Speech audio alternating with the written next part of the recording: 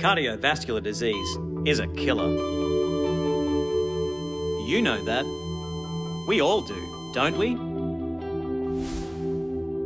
In Australia, over 43,000 people die from cardiovascular disease each year. One person every 12 minutes.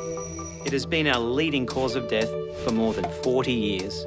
Yet, most of these deaths are preventable. And the cost is huge.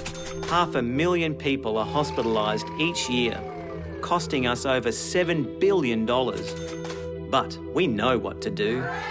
Live a healthy lifestyle. Eat well, stay active, and keep a healthy weight. Don't smoke, and don't drink too much. We've achieved a lot in 50 years. But something is wrong. The impact of our fantastic efforts in cardiovascular disease are slowing.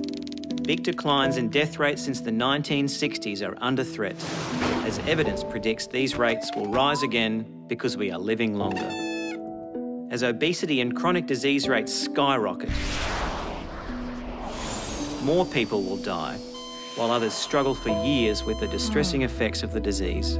It's a race against time. We won't win the race with our current approach. We must do things differently. But what? What do we want to achieve? And how do we get there effectively without risking our hard fought gains? We need a better picture that brings us all closer to the heart of the problem so we can see and understand cardiovascular disease in new ways and invest to reduce its impact. What if, together, we could test the potential impact of different strategies and policies on cardiovascular disease in Australia?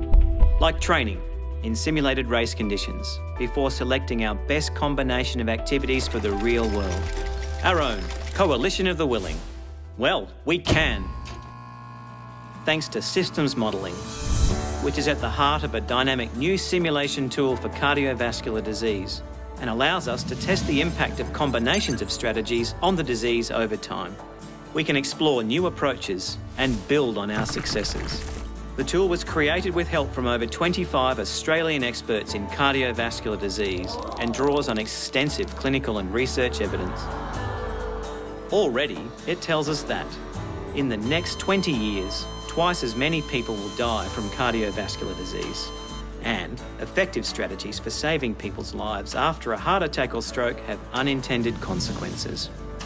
More people end up living with chronic cardiovascular disease, often in poor health and with a poor quality of life, while increasing pressure on the health system. We must choose a path that saves lives and keeps Australians healthier if we're to reduce the preventable burden of cardiovascular disease. Our challenge is to select the best mix of actions both within the health system, from prevention to acute care and beyond, like creating supportive environments that encourage people to exercise. Using the smartest, most dynamic tools available, we must come together to examine cardiovascular disease again. It's probably our best hope of winning the race, so we can be healthy, Australia!